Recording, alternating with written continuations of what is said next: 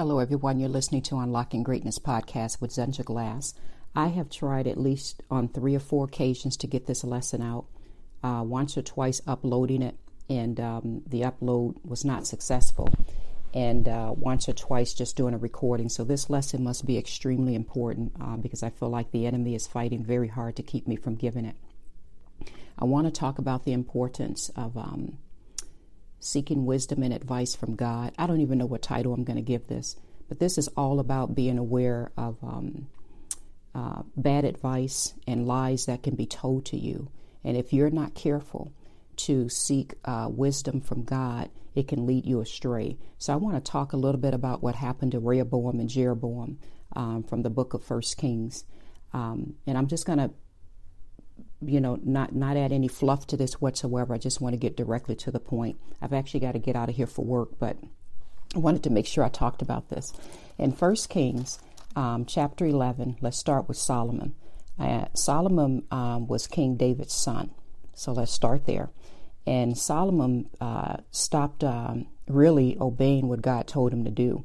If you if you look in um, uh, First Kings chapter eleven, you can start somewhere in about verse three or so and it talks about how he had 700 wives. 700 wives of royal birth and 300 um, uh, concubines. And it says, and his wives led him astray. Now I'm in 1 Kings chapter 11, verse 4. As Solomon grew old, his wives turned his heart after other gods, and his heart was not fully devoted to the Lord his God, as the heart of David's father had been, as the heart of David his father had been. He followed Ashtoreth, the goddess of the Sidonians, uh, and Molech, the detestable god of the Ammonites. And then it goes on down in verse 7, it says, um, Solomon built a high place for Shemach, um, the detestable god of Moab, and for Molech, the detestable god of the Ammonites. So Solomon just basically went left field. And because he was so in love with all of these women and all of their gods that they brought to him, um, he allowed all of these gods to be built and uh, began to worship them, which is, you know, really unfortunate. In verse 9, it says, The Lord became angry with Solomon because his heart had turned away from the Lord, the God of Israel, who had appeared to him twice. Although he had forbidden Solomon to follow other gods, Solomon did not keep the Lord's command. So the Lord said to Solomon, Since this is your attitude, and you've not kept my covenant and my decrees which I've commanded you, I will most certainly tear the kingdom away from you and give it to one of your subordinates. And uh, he goes on down to say in verse 12 and 13, you can read that part on your own. Uh, basically, just says, I'm not going to take it away in your lifetime because he allowed Solomon to reign for about 40 years or so. He says, but I'm going to do this with your with your son. So now let's just um, um, drop on down a little bit more uh, to when this happened. So Solomon had a son named uh, Rehoboam, I believe that was his name. And um, Solomon had an official. This was not his child, but one of his officials um, called Jeroboam. So just think of a R and think of a J, and we're going to get into this. So Jeroboam, um, if you look in verse 26, um, it says he was one of Solomon's officials. And if you look in verse 28, it just says Solomon put him in charge of his whole labor force. Okay, um, so he's a pretty sharp man. Uh, then, if you go on down to verse 29 or 30, and again, I'm just skimming through this because I'm trying to get through about three or so chapters, um, or at least two or so chapters very quickly. I just want to get to the point of the story, but I'm just trying to give you a backdrop. So, if you look down in verse, um, um, you know, 29 and 30, there's a prophet named Ahijah, and this prophet basically came to um, Jeroboam and said, Hey, uh, I'm gonna, uh, God is gonna raise you up to, um, um, rule over uh, Israel. I'm going to give you, uh, let me just read it because I have a hard time paraphrasing. But basically, he just said, I'm going to give you 10 tribes and I'm going to give Rehoboam only one. So you're going to get 10, which is more so the northern part of Israel. And I'm only going to leave one tribe to Rehoboam from the house of David because I'm going to still honor my promise, even though they ain't doing what they need to do. But I'm going to leave one, but I'm going to tear everything else away because they're not following and doing what I told them to do. So that's the, the shortest version, but let me add some scriptures behind it. So my biblical scholars um, don't say, hey, Z, don't paraphrase too much, just read it. So um, in 1 Kings 11, verse 31, uh, this is what this prophet said to him. Then he said to Jeroboam, Take 10 pieces for yourself. He had ripped basically his cloak or something he was wearing. And he said, Take 10 pieces for yourself, for this is what the Lord, the God of Israel, says See, I'm going to tear the kingdom out of Solomon's hand and give you ten tribes. But for the sake of my servant David and the city of Jerusalem, which I've chosen out of all of my tribes of Israel, he will have one tribe. I will do this. I'm in verse 33 now. I will do this because they have forsaken me and worship Ashtoreth, the goddess of Sidonians, Shemach, the god of Moabites, and Molech, the god of the Ammonites, and have not walked in my ways, nor done what is right in my eyes, nor kept my statutes and laws as David, Solomon's father, did. But I would not take the whole kingdom out of Solomon's hand. Um, I've made him ruler um, all the days of his life for the sake of my servant David. Uh, then he just goes on to say in verse 35 I will take the kingdom from his son's hand and will give you ten tribes. I will give one tribe to his son so that David, my servant, may always have a lamp before me. So you get the point. I'm just kind of giving some, some backup to what I just said because I know I did a, a, little bit of paraphrasing. So um, now, if you drop down a little bit more, um, let me see where I want to pick it up from here. Um, verse 42 talks about Solomon reigned in Jerusalem for about 40 years. Then he ended up resting with his fathers. Okay, fine. So, chapter 12 is when we get into Rehoboam. So, Rehoboam, keep in mind, this is Solomon's son. Rehoboam, this is where the point of this, this podcast really comes in at. You would think that if you're uh, if you if you're looking at your father Solomon, you're looking at your what would that be his grandfather David, um, you look at what was done, you would think you'd be walking in a little bit of wisdom and you'd be wise with how you're going to go about ruling over God's people. So here you go with Rehoboam. Rehoboam basically, I'm going to give you my paraphrase version first and then to, to make sure the biblical scholars who follow my podcast know that, that what I'm saying is correct, I'll then read some scriptures. Um, but the bottom line is that Rehoboam did not follow advice. He actually ran to some of his friends and took their advice. He did not want to follow any advice from the elders uh, and basically treat people well. Instead, he was like, I'm running things now. I'm going to treat people even harsher. So um, that's the shortest version I can give you.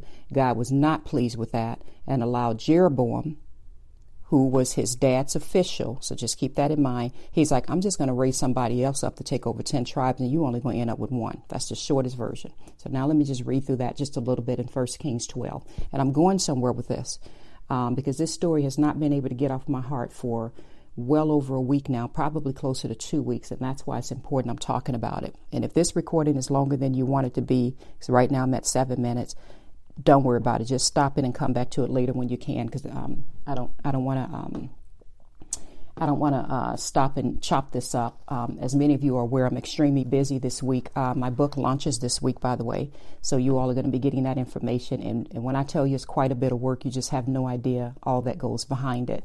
So anyway, I've got to get to the office. But in 1 Kings chapter 12, uh, Rehoboam, let me see how, where I want to pick up in here. Uh, basically, the people went to Rehoboam and said, Hey, your father put a heavy yoke on us, lighten our labor. That's in verse 4. Uh, then in verse uh, 6, again, I'm in 1 Kings chapter 12. Um, King Rehoboam um, consulted the elders who had served his father Solomon during his lifetime. How would you advise me to answer these people? People, people were basically like, "We tired. Can you lighten the load for us?" And um, and the elders basically gave him the advice. They said, "Hey, if you give them a favorable answer, they're going to always be your servant." So you can read verse seven to find out about that. Verse eight. Check this out. But Rehoboam rejected the advice that the elders gave him and consulted the young men who had grown up with him and were serving him. He asked them, What is your advice? How should we answer these people who say to me, Lighten the, the yoke your father put on us? Uh, and then you can read all the way through that, but basically, his friend said, um, Absolutely not. You tell them we're going to make it even harder. So you can read verse 10 all the way through, um, you know, verse maybe 13 or so. And uh, he turned around and took his um, friend's advice instead of taking the elder's advice and basically brought everybody back together. And uh, in verse 13, it says, The king answered the people harshly, rejecting the advice given him by the elders. He followed the advice of the young men. And um, he basically said, My father made your yoke heavy, I'll make it even heavier. And he basically just went on to tell him, basically, it's going to be even harder. You're going to do what I say to do. So uh, the Lord wasn't pleased with that. And uh, the Lord basically said, Hey, I'm going to get somebody else and raise somebody else up since you won't follow my advice and you're doing all this, all of this craziness. Now I'm going to jump down a little bit more. Let me see where I want to go here. Um, so Jeroboam, keep in mind, uh, at some point Solomon even tried to kill him because you know I think Solomon must have known this guy's going to take over one day. So now that Solomon's dead, and his son is acting a fool, not following advice, and treating people even harshly, Jeroboam comes back on the scene. And people basically say, We want to make you king. So if you if you jump down to verse 20, I apologize if I'm, go- if I'm going a little quickly. Let me just slow down. In verse 20 of 1 Kings 12, uh, when all the Israelites heard that Jeroboam had returned, you know, because Jeroboam had ran off to Egypt for a minute because Solomon was trying to kill him, but now, again, Solomon's dead, so Jeroboam's like, let me get my butt on back over there and see what I can do. Um, so in verse 20, when all the Israelites heard that Jeroboam had returned, they sent and called him to the assembly and made him king over Israel. Only the tribe of Judah remained loyal to the house of David. So uh, Rehoboam was about to go to war against him, but if you read, you know, through the next few verses, you'll see that, um, you know, God basically told him in verse 24, "Do not go up and fight against your brothers, the Israelites. Go home, every one of you, for this is my doing." Uh oh. Uh oh. The Lord said, "This is my doing." So they obeyed the word of the Lord and went home again as the Lord had ordered. So the Lord, the Lord basically told Rehoboam and his and his troops, I think it was about 180,000 of them or so, uh, give or take he said, um, No, no, no, you're not going to go up to war against them. I'm the one that tore this kingdom away from you because I put you in this position and you got up here and act like you don't you don't you don't even know me anymore. You're allowing all this worship of all these other gods and this and that. And by the way, if you get some time to study out these gods, you'll see this was not just some little thing. These are golden calves and things. These are um, um, gods of, uh, what do they call it, Baal. Uh, the, these people were sacrificing their children to these gods. They believed in the afterlife, and they believed if they sacrificed their kids that it did something. So this was not not on a small level of any kind, like walking around with just a little charm in your hand. They went completely left field and forgot all that the Lord had done when he when he pulled them out of Egypt.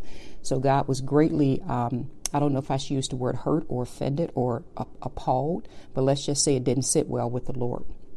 So now you get down to Jeroboam. Now, again, Jeroboam's not Solomon's son.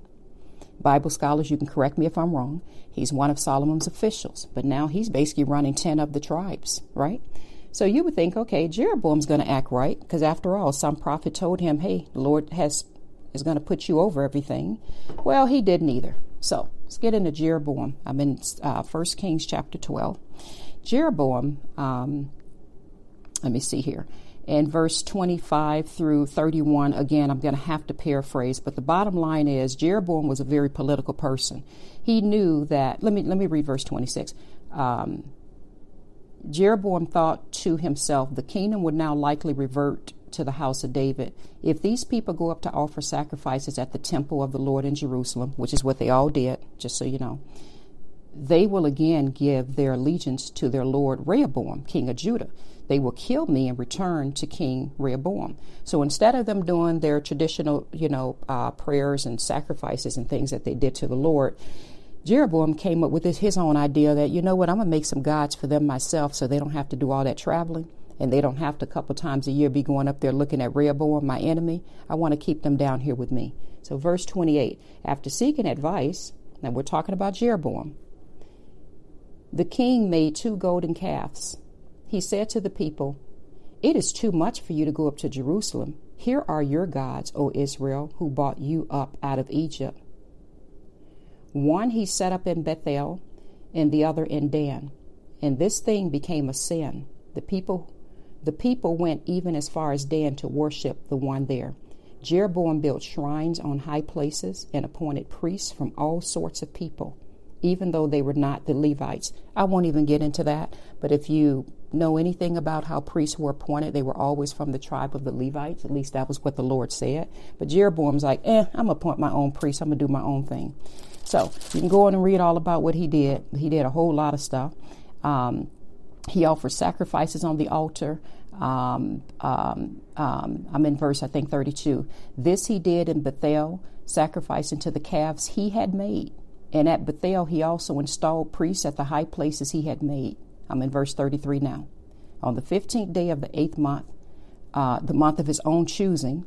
so again, not consulting God on nothing. Like I'm just going to make this my our, our day of festivals. So on the month of his own choosing, he offered sacrifices on the altar he had built to uh, Bethel. So now let me drop down now to uh, 1 Kings chapter 13, which is what my short little clip was about the other day um, when I put up a, um, I think it was a, a YouTube reel.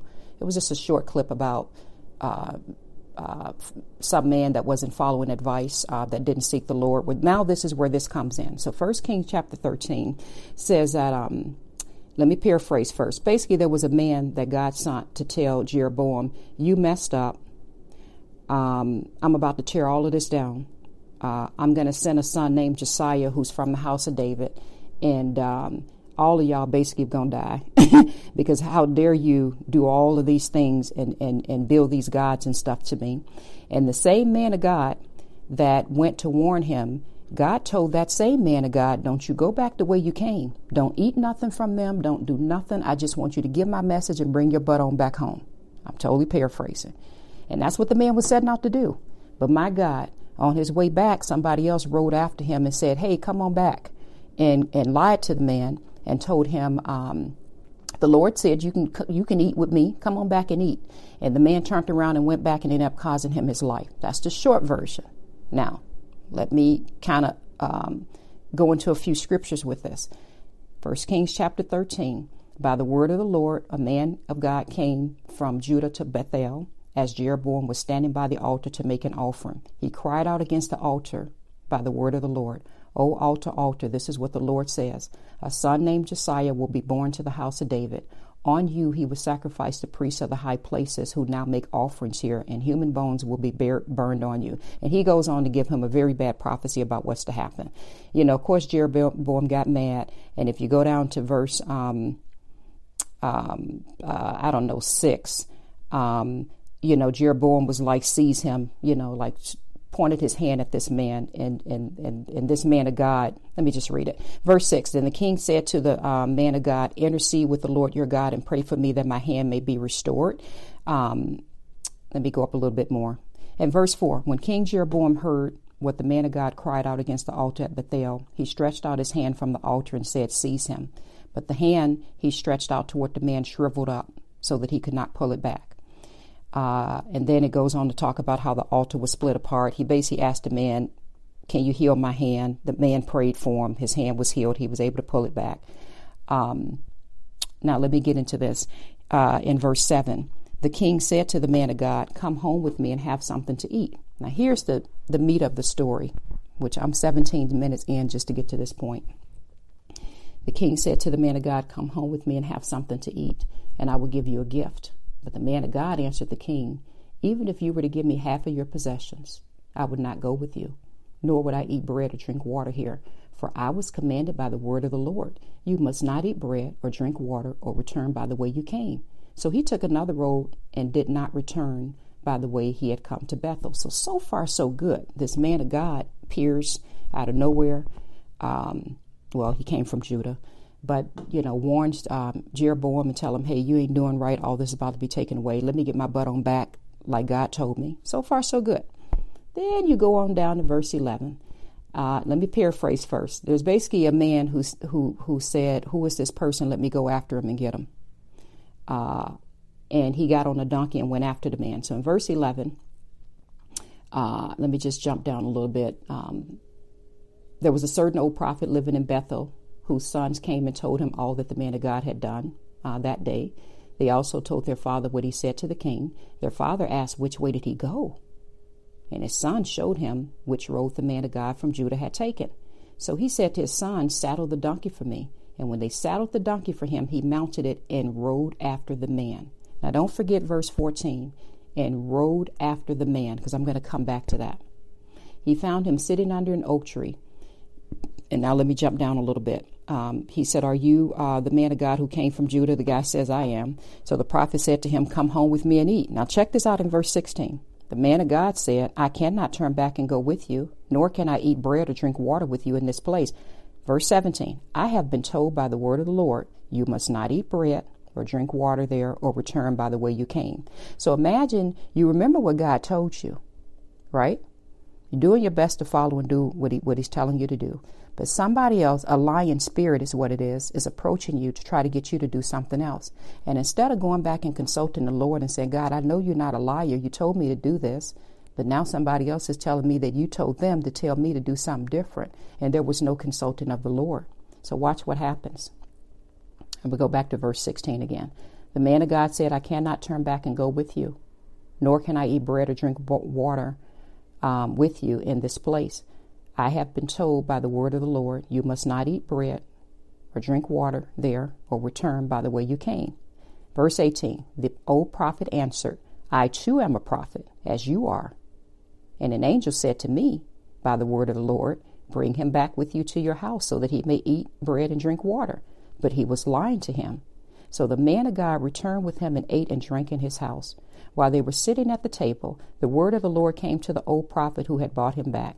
He cried out to the man who had come from Judah, This is what the Lord says You have defied the word of the Lord and have not kept the command the Lord your God gave you.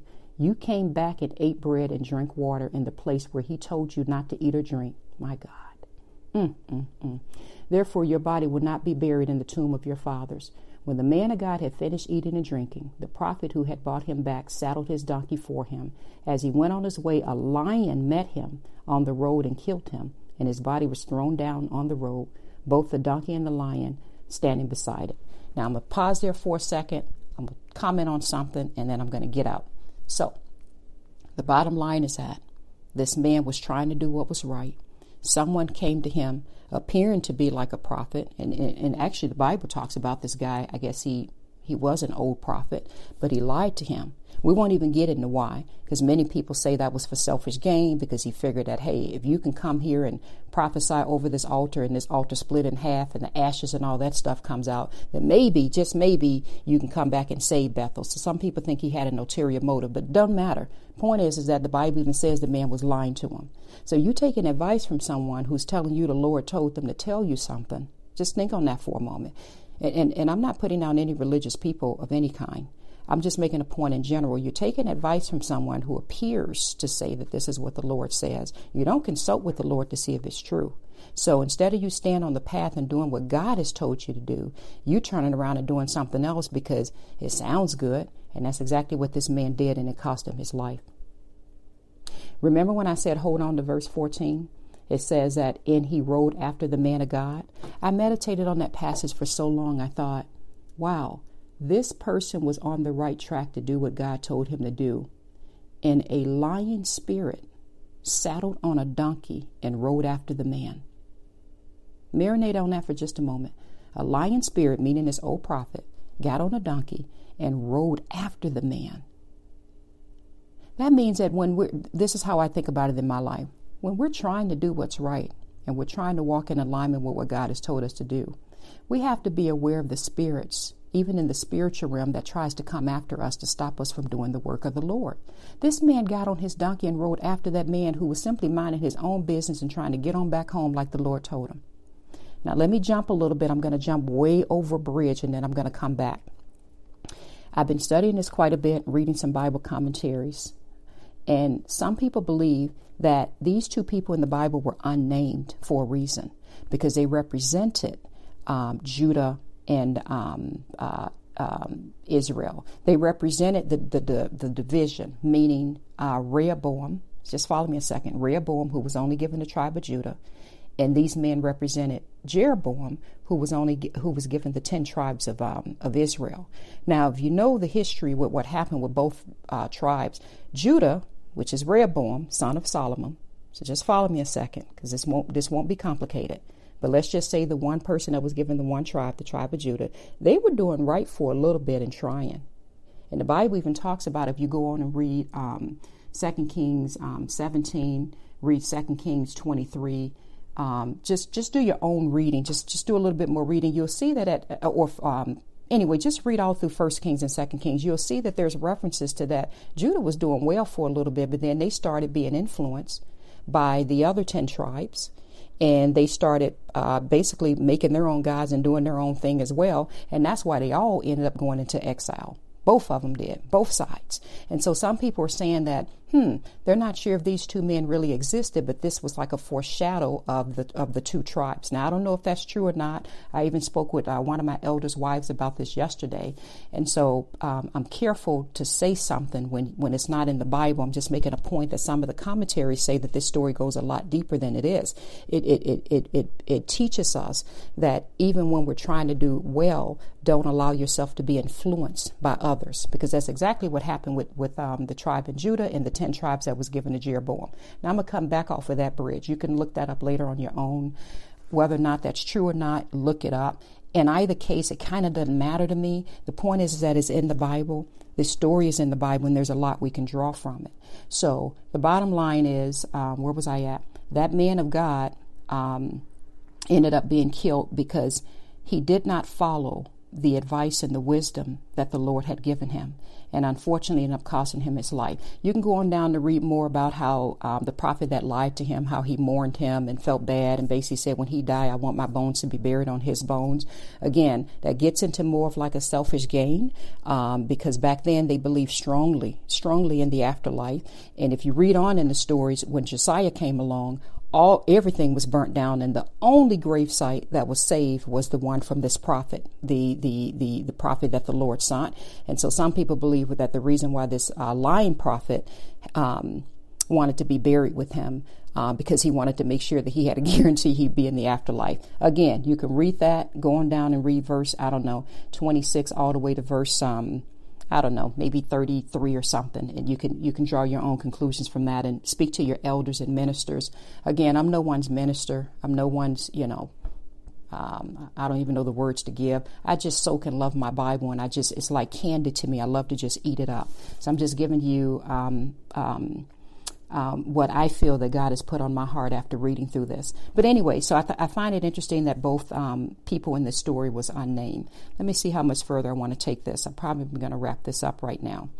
Um, I think I'm going to wrap it up there. I want to go into a little bit more. The very bottom line, if you read on in chapter 14, um, Jeroboam, the one who was given the 10 tribes of Israel, right? Um, and the one who was just prophesied against, right? Uh, his son became ill. He sent his wife to that same prophet that told him you were going to rule and said, Hey, save my son. And the shortest version I can give you is the prophet's like, No, God's about to wipe all of this out. And, and in fact, he says, Your son is going to be the only one um, that's going to die and be buried because everybody else, like, no, we're done. Um, so you can read all chapter 14 on your own. So the premise of this, um, let me read verse 9. So, chapter 14, verse 9, when, when he was trying to get his son healed, he said, You've done more evil than all who lived before you. You have made for yourself other gods, idols made of metal. You have provoked me to anger and thrust me behind your back. Because of this, I'm going to bring disaster on the house of Jeroboam. I will cut off from Jeroboam every last male in Israel, slave or free. I will bring up the house of Jeroboam as one burns up dung um, until it is all gone and then and he just goes into a lot of description about what's going to happen, how the dogs are going to eat their flesh, and this and that. So you know, the Lord was just like, no, no, no, no, no. I, I, I allowed you to be in this position, and you you still turned around and worship these other gods. I'm gonna stop right there because I can just keep going with this. I just love this. When you read through a lot of the Old Testament, especially if you read just through um, First Kings and Second Kings, it almost makes me cry because there's such a flow in the spirit and in the Bible of, man, God just wants us to just worship and follow Him and seek His face. He just wants to rescue us and be there for us. That's all. And then when we get to these places where we feel we've arrived or we've done whatever, it's so consistent throughout the kings in the Bible and this is just a drop in the ocean of just two or three of them, right? But it's so consistent that you get to a place, you forget what the Lord say, you begin worshiping other gods. This is what many of them did. Not all, but many. And then God had to turn around and raise up an adversary, someone to come against them, eh, to humble them, which is what the um, it talks about in First Kings, I think chapter maybe chapter ten, chapter eleven. It talks about how the Lord set all this up to humble them because they were not doing what they needed to do. They were not. They they stopped worshiping Him. Can you imagine rescuing them and pulling them out of Egypt? And then can you imagine them turning around and building calves and gods, sacrificing their kids and stuff to these gods and saying, This is our Lord, our God? And it, it's such a, I really believe, let me just speak for myself. I almost want to say that God has feelings that it hurts him, but I know some people may be a little like, well, Z, that's not quite true. And some people may say, well, no, that is true. But if you read all through the Bible, it talks about how he says, I long to hold you, I long to gather you. You know, if you would just love me, if you would just, basically, if you would just remember me. And so many times throughout the Bible, um, if you look at me now, my hand is going up and down like a wave. There's like a wave. There's like a wave you know? So when when when we think about our lives and again let me just speak for myself because i'm not preaching to nobody. I'm just sharing my own life. I am constantly on guard asking him god don't you ever in your life give me more than what i can handle. Don't you ever in your life bless me to a point where i forget who you are. It is so important that you stay in your word stay in prayer and no matter what you go through in life, and you guys know we all go through things, right? We won't even get into me talking about the death of my son. But it's so important that when we go through our ups and our downs in life, we remember the Lord. We remember what He has said.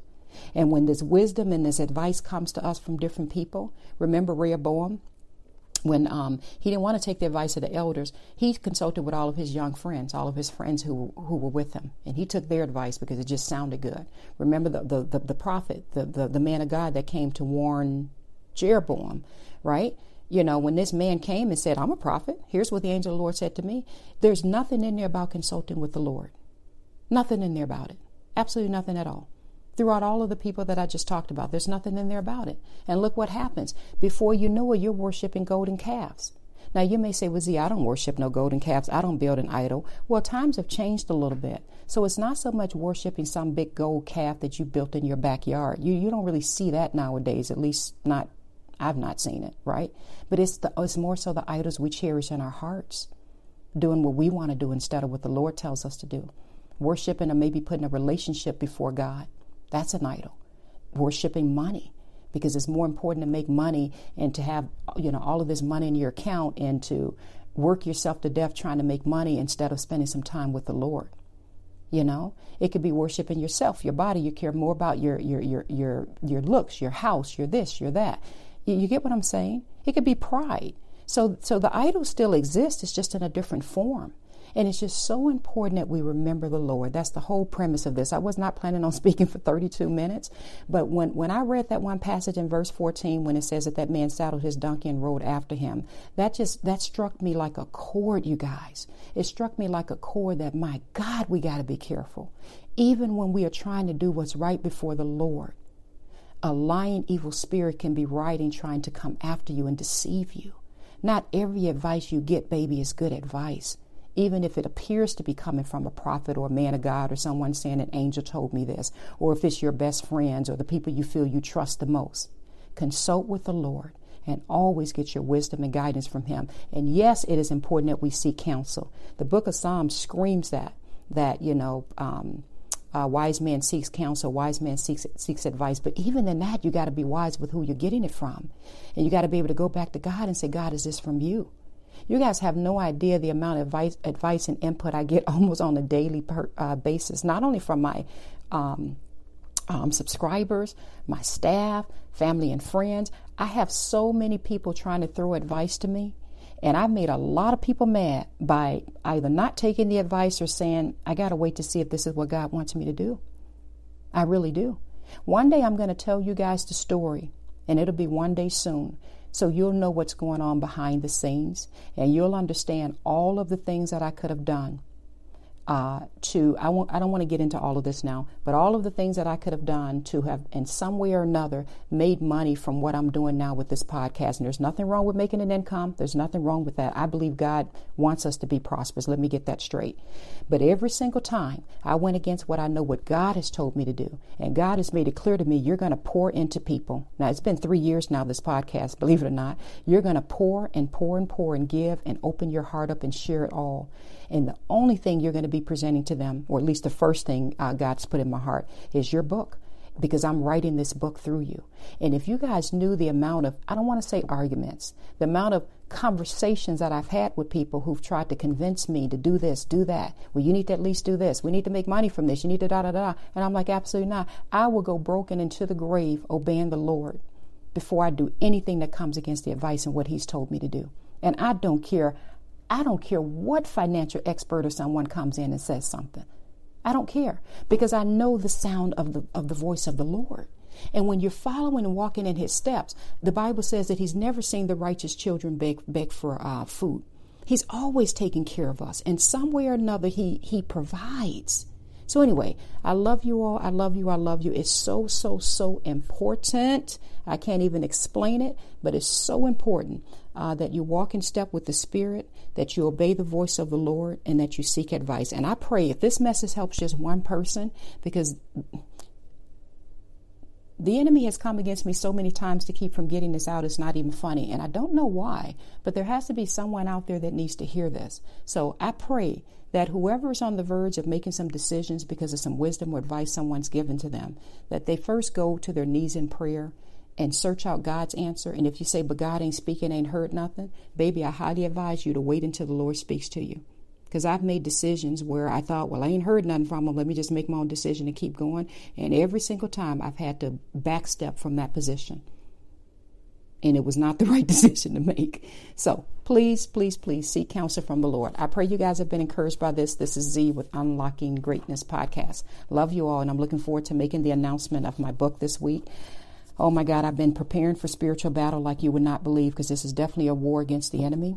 And um, when I tell you that this has taken everything out of me, every in, in every fashion form, to be able to release um, this book that God has been working on me for years. Oh my God, if you guys only knew the amount of tears and the amount of effort um, that's gone into this, but I know that I'm honoring God in what I'm doing. So, anyway, let me go. I better stop talking. Love you all. Uh, this is Z with Unlocking Greatness Podcast. Bye bye.